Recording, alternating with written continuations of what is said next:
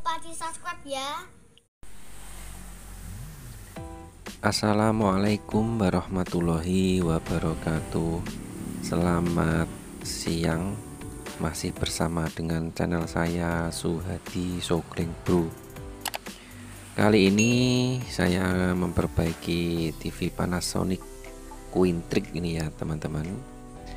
TV Panasonic ini kerusakannya itu apabila dinyalakan itu protect standby jadi lampu indikatornya itu nyala biru hijau lalu kembali ke merah.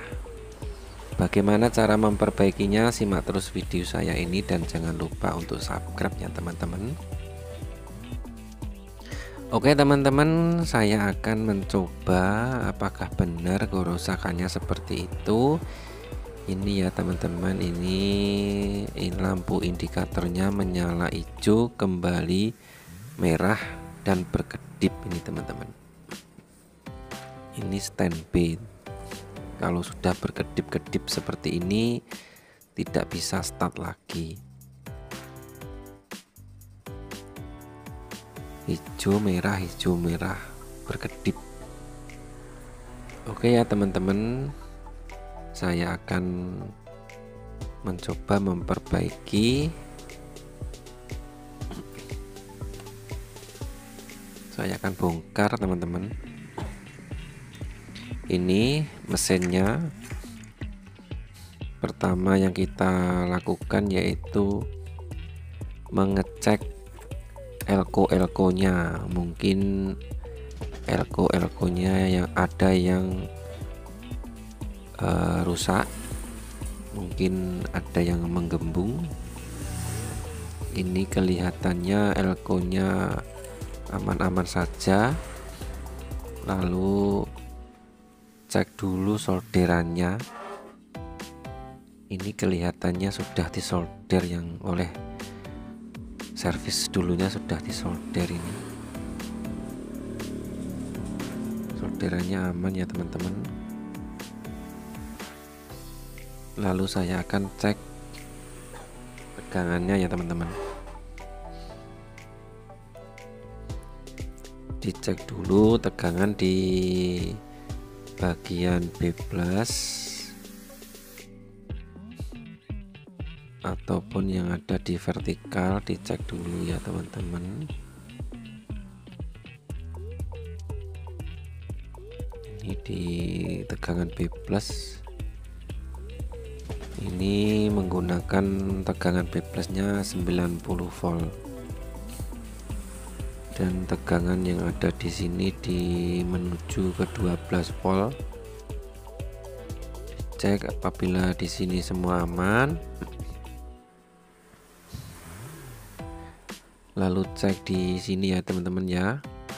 Kalau tegangannya semua aman langkah yang pasti yaitu saya beritahu ya teman-teman ini di R663 ini ini letak proteknya.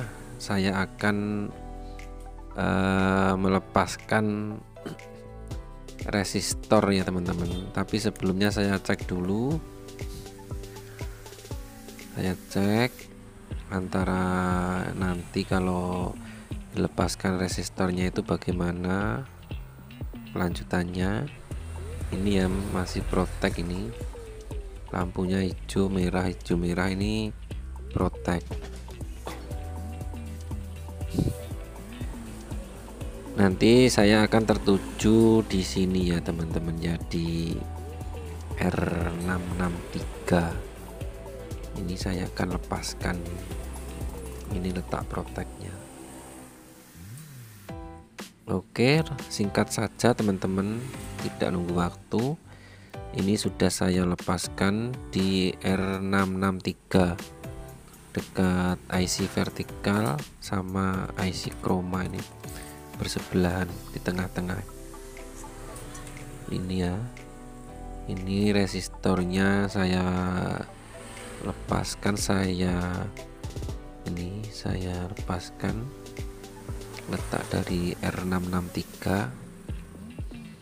mungkin dengan melepas resistor tersebut TV sudah tidak be, tidak protek lagi ya teman-teman ya. Cukup mudah saja teman-teman untuk mempunyai masalah TV Panasonic Quintric dengan kerusakan protek sementara tegangan semua normal.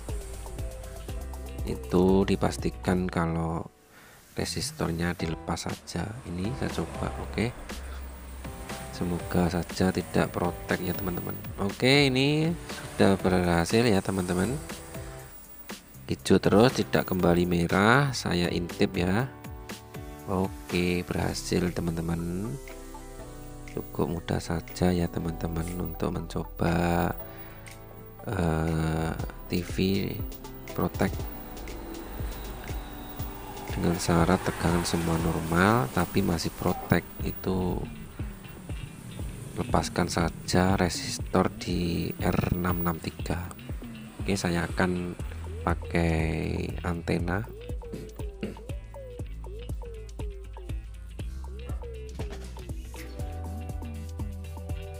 oke normal. Cukup mudah saja teman-teman ya mudah itu kalau punya pengalaman tapi kalau belum punya pengalaman atau belum uh, melakukan apa ya belum pernah mengalami tentu saja sulit. Tapi kalau sudah mengalami ya pengerjaannya cukup mudah hanya melepas R663 sudah jadi.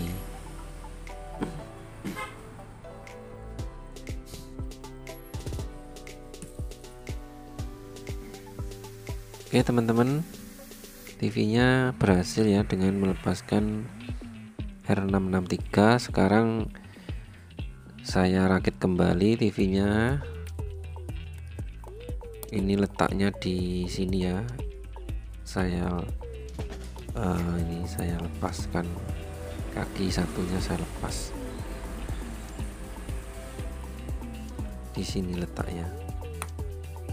Dengan melepaskan resistor tersebut TV tidak protek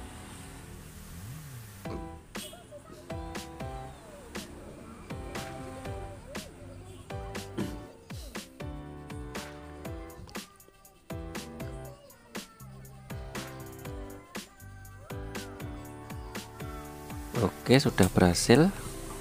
Sudah jadi TV nya begitu ya teman-teman. E, bisa dicoba cara saya ini. Mungkin servis pemula yang mengalami masalah sama TV Panasonic Quintric Protect. Cara saya ini bisa dicoba. Ini asli tidak rekayasa teman-teman begitu teman-teman. Semoga tutorial saya ini bisa membantu untuk memperbaiki TV khususnya TV Panasonic Quintric dengan kerusakan protek.